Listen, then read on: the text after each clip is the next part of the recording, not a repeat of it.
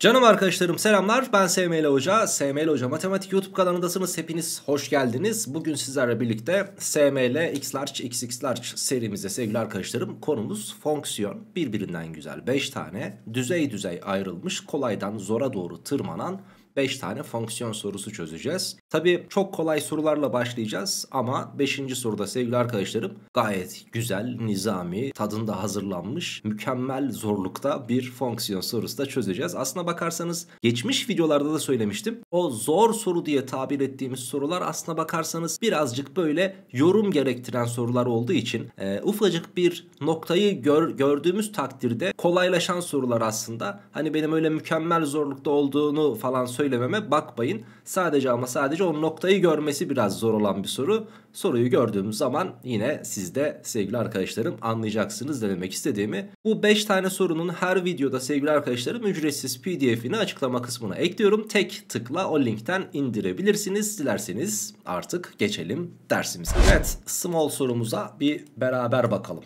Ama beraber bakmak e, çok önemli. Beraber bakacağız tamam. Şimdi Small soru f doğal sayılar kümesinde tanımlı bir fonksiyon ve m bir doğal sayıymış arkadaşlar. fx fonksiyonumuz x artı 2 faktöriyel olarak verilmiş bize. E, f m artı 3 de f m artı 1 çarpı 42 eşitlikleri veriliyor. Buna göre m kaçtır diye soruluyor. Şimdi fonksiyonumuzun kuralı belli. Bak şu x artı 2 faktöriyel. Yani içindeki sayı neyse onun iki fazlasının faktöriyelini hesaplıyor. O halde ben burada m artı 3 yazıyorsa f'in içerisinde ben f m artı 3'e ne diyeceğim? m artı 5 faktöriyel diyeceğim. Doğru mu? Eşittir dedim. E burada fm artı 1 var o zaman bunu 2 arttırırım ve m artı 3 faktöriyel yazarım. Daha sonrasında çarpı 42 var. Şimdi güzel kardeşim bak. Ben bu e, m artı 3 dediğim ifadeyi yani şuradaki ifademi alıp çarpım durumunda olduğu için karşı tarafa bölüm olarak postalayabilirim. Böylelikle m artı 5 faktöriyel bölü m artı 3 faktöriyelim oluşur burada. Ve bu da 42'nin ta kendisidir. Hatta ve hatta şöyle de yapabilirsin. m artı 5 faktöriyeli m artı 3'e bölersen elinde sadece m artı 5 çarpı m artı 4'ün kalır. Çünkü burası m artı 5 çarpı m artı 4 çarpı m artı 3 faktöriyeldir aslında m artı 5 faktöriyel dediğimiz ifade. Ve ben bunu m artı 3 faktöriyele bölecek olursam e tabii ki bunlar sadeleşecek ve elinde sadece yukarıdaki iki ifade kalacak. m artı 5 ile m artı 4'ün çarpımı kaldı. E şimdi hocam bunlar ardışık değiller mi? Yani m artı 4 ile m artı 5 ardışıklar çünkü aralarında bir fark var. Ve bu aralarında bir fark olan sayıların çarpımı eğer 42'yi veriyorsa o zaman küçük olan 6'dır büyük olan 7'dir. Kimse kusura bakmasın. M artı 4 6 ise M de burada tabii ki 2'nin ta kendisidir. Bizden M istenmişti. O halde doğru cevabımız A şıkkında verilmiştir diyebiliriz. Bu arada bu güzel soruları sevgili arkadaşlarım kendi yazdığım kitaptan seçerek buraya koydum. Haberiniz olsun. Ee, bu, bu tarz sorulardan daha fazla görmek istiyorsanız 40 soru serisi TYT Matematik, 40 soru serisi Problemler. Şimdi hemen eli kullandığı olan 40 soru serisi AYT Matematik kitaplarım kitabımda yolda. Ama diğer iki kitap çıkmış durumda şu an satışta. E, dileyen açıklama kısmındaki linktree e, adresine linkine tıklayarak sevgili arkadaşlarım oradan kitapları satın alabileceği linklere de tabii ki ulaşabilir. Şimdi arkadaşlarım medium sorudayız artık orta düzey soruda. Az öncekinden bir tık daha zor olan bir soru. Şimdi bir A kümesi verilmiş. Bu küme 1, 2, 3, 4, 5 rakamlarından oluşuyor ve e, küçük a'da bu büyük A kümesinin bir elemanı. Yani buradaki küçük A 1, 2, 3, 4, 5'ten bir tanesi.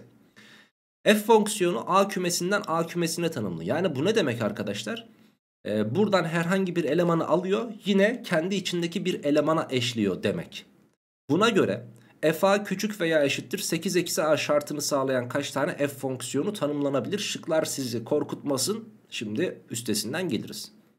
Şimdi öncelikle a sayısı eğer burada 1 olursa ne olmuş olur?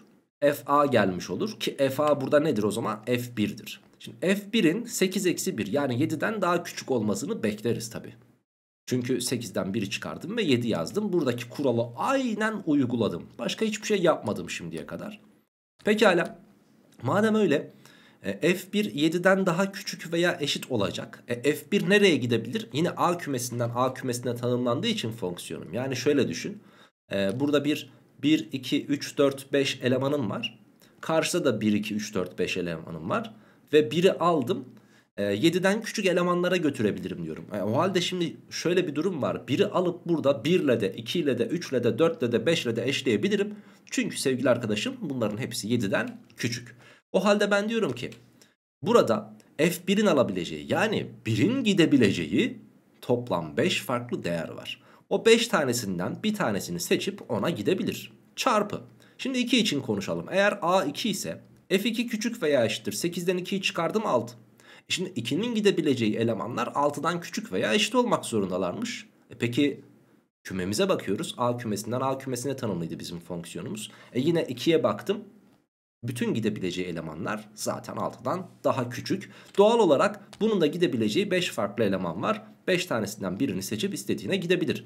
Bak unutma birebir fonksiyon falan yazmıyoruz. Dolayısıyla işte 1 3'e gittiyse hocam 2 3'e gidemez falan muhabbetlerine girmene hiç lüzum yok burada. Çünkü zaten birebir fonksiyon kontrol etmiyoruz. Biz fonksiyon olmasını istiyoruz. Pekala. 3 için bakalım şimdi. Oraya yazmayalım tabi. F3 küçük veya eşittir. 8'den 3'ü çıkardım 5. Şimdi bu ne demek? 3'ün gidebileceği elemanlar 5'ten küçük veya eşit olmalıymış. E, 3'e bakıyorsun karşıdaki elemanların her biri zaten 5'ten küçük veya eşit. Kusura bakmayın 5'ten küçük veya eşit. O halde ne diyeceğiz? Yine 3'ün de gidebileceği toplam 5 tane eleman var. O da 5 tanesinden birini seçer ve gider. Çarpı. Şimdi gelelim 4'e. 4'ün gidebileceği küçük veya eşittir. 8'den 4'ü çıkardım 4 oldu. Yani 4'ten küçük veya eşitmiş. O zaman buradaki 4'ün gidebileceği 1 var, 2 var, 3 var, 4 var. 4 5'e gidemez diyor. Kural bu şekilde. O halde sevgili arkadaşlarım 4 buradaki 4 tanesinden herhangi bir tanesini seçer ve o elemana gider. O halde diyeceğim ki 4'ün birlisini seçti ve bir tanesine gitti. Aynı zamanda yine siz de anladınız artık sorunun devamını. F5 küçük veya eşittir. 8'den 5'e çıkardım 3 oldu. Yani 5'in gidebileceği Burada 5'in gidebileceği 1 var, 2 var, 3 var. Farklı da bir eleman yok. O halde 3 tanesinden herhangi bir tanesini seçer ve gider diyebilirim. Şimdi 3 çarpı 4 çarpı 5 bize neyi verdi arkadaşlar? 60'ı verdi. 5 kere 5 de 25'i verdi. 25 kere 60 da o halde bize tabii ki cevabı verecek. Bu da 1500'ün ta kendisidir. Size söylemiştim şıklar sizi korkutmasın. Biz üstesinden geliriz demiştim. Aynen bu şekilde üstesinden geldik. Cevabımız 1500 oldu. Direkt cevabı bulduğumuz için diğer şıklardan korkmamıza lüzum bile yok. Medium soruyu da çözdük. E şimdi nereye geçiyoruz? Tabii ki large soruya geçiyoruz. Dikkatli dinlemende fayda var güzel arkadaşım. Algılarını aç ve beni iyi dinle. F ve G doğrusal fonksiyonlarmış ve bu doğrusal fonksiyonları birbiriyle çarpınca böyle bir ifade oluşuyormuş karşımızda. Aynen bu şekilde bir ifade. Peki G fonksiyonunun grafiği orijinden geçmekte olup Orijinden geçiyorsa demek ki G0 neymiş arkadaşlar? G0 sıfırın ta kendisiymiş. Çünkü orijinden geçiyor. Sıfıra sıfırdan geçiyor. F fonksiyonunun da y eksenini kestiği noktanın ordinatı 4'müş. Yani diyor ki F0'da diyor y eksenini kestiği noktanın ordinatını bulmak için x gördüğüm yere 0 yazıyordum değil mi? F0'da 4'tür diyor. Pekala buna göre F3 ile G1'in toplamı sorulmuş bize.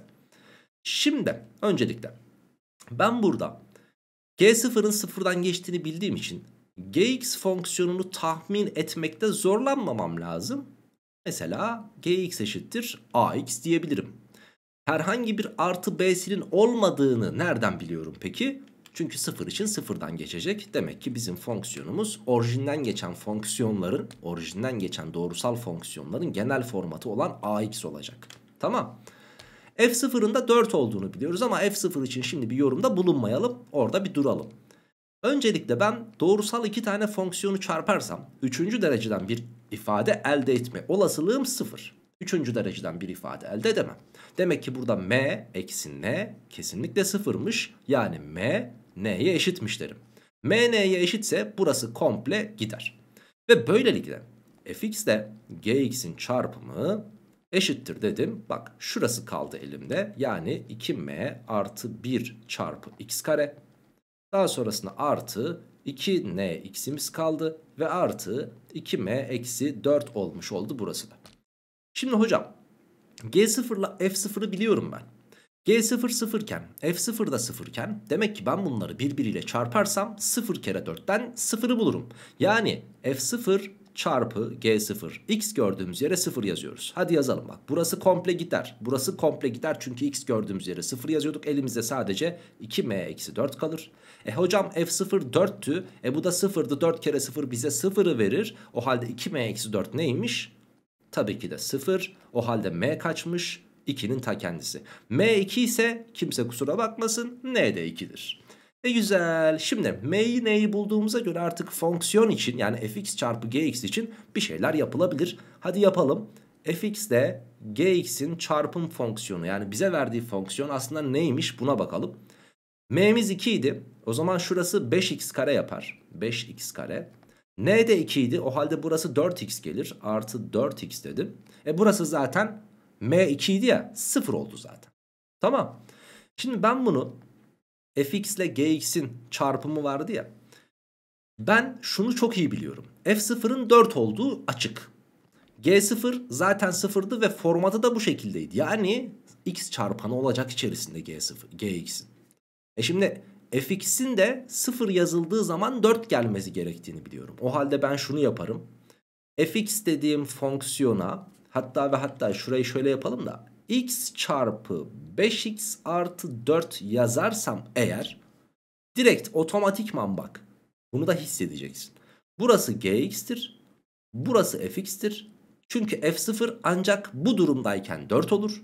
gx de zaten g0 eşittir 0'dı. Demek ki gx'imiz bu, fx'imiz de buymuş. Bizden istenen f3 ile g1'in toplamı.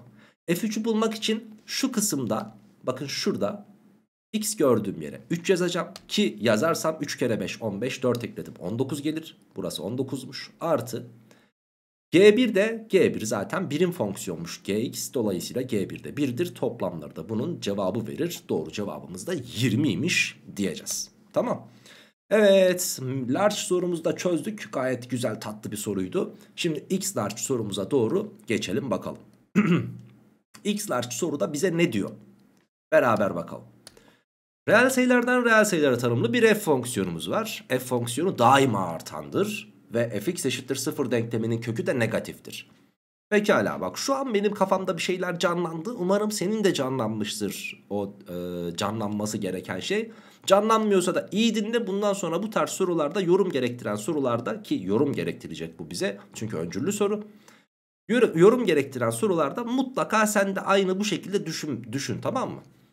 Buna göre demiş 3 tane öncül var hangileri doğrudur diye soruluyor. Şimdi öncelikle benim bu fonksiyonum şöyle bir fonksiyon budur. Şurası x eksenim olsun. Şurası da y eksenim olsun. Tamam mı? Daima artan bir fonksiyon düşüneceğiz. Ki bu fonksiyon mesela doğrusal olabilir ama illa doğrusal bir fonksiyon düşünmek zorunda değilsin. Ve fx eşittir 0 denkleminin kökü negatifmiş ya. Bu ne demek arkadaşlar? Fonksiyonun grafiği x eksenini demek negatif tarafında kesiyor. Yani şöyle bir artan fonksiyon çizdim. Bu da benim fx'im olmaya aday bir fonksiyon arkadaşlar. Bu doğrusal da olabilir. Farklı bir e, şekilde de artmış olabilir. E, ama artması ve x eksenini negatif tarafta kesmesi şu an benim için çok değerli. Adamın istediklerini yaptık mı? Yaptık. O zaman kesinlikle doğru yoldayız. Sen istediğin fonksiyonu çiz. Sıkıntı yok. Şimdi diyor ki f eksi 4 f eksi 3'ten daha küçüktür diyor. Mesela eksi 4 şuradayken eksi 3 burada olabilir. Veyahut hani hocam neden birini pozitif tarafta diğerini negatif tarafta seçiyorsun ki? Negatif olacak tarafta diyebilirsin. O halde ben bunu biraz uzatayım. Diyeyim ki eksi 4 şurada olsun. Eksi 3 de burada olsun. Tamam. Şimdi eksi 4'ün gittiği yere bakıyorsun. Bayağı bir aşağıda negatif. Eksi 3'ün gittiği yere bakıyorsun. O da negatif ama sonuç olarak f-4'ten daha büyük. f-4 f-3'ten daha küçüktür demişti. Doğru. Bunu nerede alırsan al. Eksi 4 ile eksi 3'ü nerede seçersen seç hep aynı şey gelecek zaten. Hep aynısını bulursun. Buna da doğru atarsın. Tik atarsın yani. F fonksiyonu y eksenin negatif tarafında keser. E şimdi negatif tarafında x eksenini kestikten sonra bu fonksiyon artmaya devam edecekse doğal olarak y eksenini mecburen pozitif tarafında kesmek zorunda. Yani şuradan bile kesebilir. Şuradan da kesebilir. Ama ne dedik? Pozitif tarafında kesmek zorunda. Bize ne diyor? Negatif tarafında keser. Yanlış söylüyor. İkinci öncülümüzü eledik. Her x pozitif gerçel sayısı için fx sıfırdan büyüktür diyor. Şimdi sıfırdan büyük x'leri düşünelim. Sıfırdan büyük x'lerin olduğu kısım kartezyen koordinat sisteminde y ekseninin sağ tarafıdır. E, y ekseninin sağ tarafıysa eğer yani şuradan mı bahsediyor? Ben sana hemen orayı temizleyeyim şöyle. Yani şuradan bahsediyor değil mi? Bak bu taraftan bahsediyor. Ve bunların bütün görüntüleri de pozitif çıkmak zorunda diyor. Doğru mu? Vallahi doğru. O halde sevgili arkadaşım 3. öncülüm doğru olacak benim. Burada doğru öncüller 1 ve 3'müş. Yani cevabımız da D şıkkıymış diyeceğiz. Evet arkadaşlarım çok sevdiğim bir fonksiyon sorusunu çözeceğim. Geçen seneki kamp kitabımdan, mor kitaptan aldığım ve buraya yerleştirdiğim bir soru. Hatta e, o kitapta da large test vardı. Small test, medium test, large testler vardı o kitapta. Ee, bu soru yanlış hatırlamıyorsam large testin 9. soruydu arkadaşlar. Yani beğenerek yazdığım bir soruydu. Ee, bir bakalım beraber çözümüne senle. Şimdi ne diyor? A ve B sıfırdan farklı gerçel sayılar. Güzel. F ax artı b diye bir şey vermiş bize. Bu x'e eşitmiş. F a eksi b'de 2b bölü a'yı veriyormuş bize. E şimdi buna göre diyor f eksi 3b ile f 5b'nin toplamının değeri kaçtır diye soruluyor. Gel seninle şöyle bir şey yapalım. Şimdi hocam ben burada ben burada şu içeriği sıfırlayan değeri bir bulsam yani ax artı b'yi sıfır yapsam burada x ne olur? Eksi b bölü a olur. Şimdi demek ki bu neymiş? Ben x gördüğüm yere eksi b bölü a'yı yazarsam eğer fonksiyonun içi sıfır oluyor. Yani artık şöyle bir şey elde edebilir miyim ben? f0 eşittir. x gördüğüm yere eksi b bölü a yazdığım için bu eksi b bölü a'nın ta kendisidir derim. Bu güzel. Burada bir sıkıntımız yok. Şimdi ben burayı sıfır yaptım ya. O zaman boş durmayayım abi. Şurayı da sıfırlayayım. Sonuçta f0 ve f0'ı bulursam farklı iki tane değer elde ederim ve bunların ikisini birbirine eşitleyebilirim. Çünkü ikisi de f0'dır artık. O halde diyorum ki a eksi b o da sıfır olsun. Yani ben burada a'nın b'ye eşit olduğu takdirde içerinin sıfır olabileceğini öğrendim. O halde diyorum ki B gördüğüm yere artık A'yı yazarım ben. B gördüğüm yere A'yı yazarım. E çok güzel. B gördüğüm yere A yazarsam içerisi 0 olur. Ve böylelikle F0 eşittir. Bak B gördüğüm yere A yazdım. 2A bölü A'dan ne geldi? 2 geldi. E şimdi benim elimde şöyle bir şey var. F0 eksi B bölü A'ymış. Ama diğer yanlar öteki elemanda diyor ki F0 2'dir diyor. E o zaman eksi B bölü A eşittir 2 yazarım. Hemen yazalım. Eksi b bölü a eşittir 2 ise b burada eksi 2a'nın ta kendisidir. Çok güzel. Şimdi b ile a arasındaki ilişkiyi buldum. Ve ben artık şunu söylüyorum. f eksi 3b diyor ya mesela. Eksi b nedir hocam? Artı 2a'dır değil mi buraya göre? O zaman eksi 3b nedir? Eksi 3b de tabii ki 6a'dır. Bu cepte. Daha sonrasında madem b eksi 2a'ymış. 5b'de kesinlikle nedir? Eksi 10a'dır. Yani artık ben f eksi 3b'yi bulmak yerine f6a'yı arayabilirim. Ve artı 5b f5b'yi bulmak yerine de f eksi 10a'yı hesaplayabilirim. Bunların hepsi de sonuca düzgün ve hatasız biçimde gidebilmek için yaptığımız hareketler. Şimdi f6a'yı ben bulmak için ne yaparım hocam? Hemen şunu yapacağız. İyi dinle beni. Şunları bir temizleyeyim. Burada ne vardı? F a eksi b vardı. E hocam eksi b demek 2a demek değil miydi? Evet. O halde ben şunu yapabilirim. Ee, burada. Hatta ve hatta bir bakalım. Burayla uğraşmayalım. Şurasıyla uğraşalım. Çünkü onun değişkeni var. Şununla uğraşalım. Onun değişkeni var. Şimdi b neydi hocam? b eksi 2a'ydı. Ben buraya f ax eksi 2a yazarım. Bu da neymiş? x'miş. Şimdi diyorum ki x gördüğüm yere ben burada bana f6a lazım ya. x gördüğüm yere eksi 4 yazarsam hatta ve hatta eksi 4 olmuyor artı 6a lazımdı çünkü 8 yazarsam 8a'dan 2a'yı çıkarırsam eğer f6a'yı bulurum. Böylelikle x gördüğüm yere 8 yazdım ya bu da direkt neye eşit olacak? 8'e eşit olacak.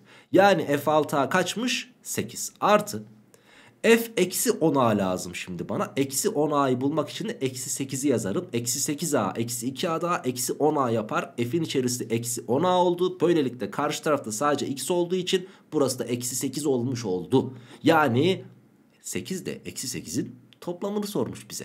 Bu tarz soruların cevapları biliyorsun zaten. Senin de canını sıkan cinsten bunlar. 0 veya 1 çıkar ya. İşte bak yine karşında 0 var. Doğru cevabımız D şıkkı ama sen sen ol bu tarz sorularda şıklarda 0 veya 1 varsa gidip işaretleme tamam mı? Bazen 2 falan da çıkıyor çünkü.